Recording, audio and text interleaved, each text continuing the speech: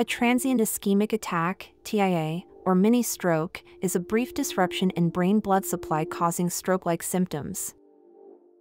The lack of oxygen during a TIA triggers sudden symptoms, but unlike a stroke, these resolve within 24 hours. If a TIA or stroke is suspected, call 999 immediately.